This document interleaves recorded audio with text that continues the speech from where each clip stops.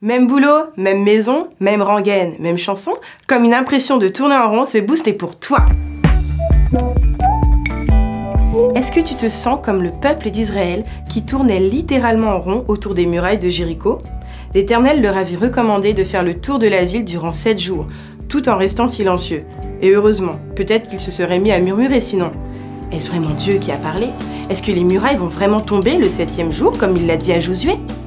Lorsque l'on lit la suite de l'histoire des Israélites, ils ont obéi en tout point. Ils ont fait le tour de la ville pendant sept jours. Et au septième jour, ils ont poussé un grand cri de guerre, selon les instructions de l'Éternel, et les murailles se sont effondrées. Alors que tu tournes autour de ton problème, en te demandant si les murailles vont bien tomber, si Dieu va se manifester, s'il y a une issue de secours, l'histoire nous montre que oui, il y a une porte de sortie, et en voici la clé, l'obéissance et la confiance même si tu ne sais pas comment Dieu va agir, même si tu ne sais pas quand, à quelle heure ou à quel endroit, tu sais une chose, tu sais qui va agir.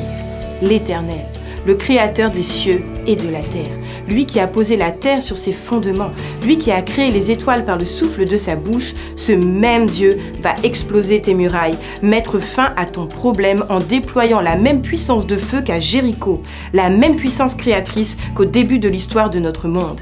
Mais il collabore avec toi, avec ta foi, avec la confiance que tu places en lui. Aujourd'hui, je t'invite à adorer le Seigneur, chanter ses louanges, danser si tu le souhaites. Exprime ta louange comme tu le souhaites, mais exprime-la. La Bible déclare que l'Éternel siège au milieu de la louange de son peuple. Tu es son peuple, loue-le et proclame que tes murailles vont tomber, tomber, tomber au nom de Jésus. Alors dès la fin de cette vidéo, choisis un chant de louange, ton chant préféré.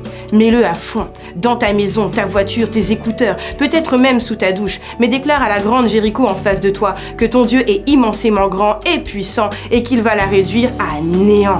Aujourd'hui, c'est une journée de feu, adore ton Dieu. Et abonne-toi